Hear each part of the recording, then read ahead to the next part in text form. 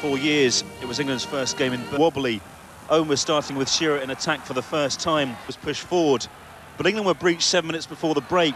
Chapuisat provided the cross, and Spurs defender Ramon Vega glanced his header past Tim Flowers.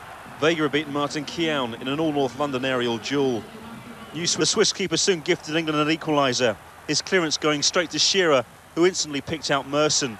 It was Merson's second England goal, six years to the day after the first. Immediately, Flowers had to deny Chapuisat at the other end. Then Hinchcliffe broke and Henchoz headed away from Shearer. But Corminboeuf was left writhing after colliding with a post.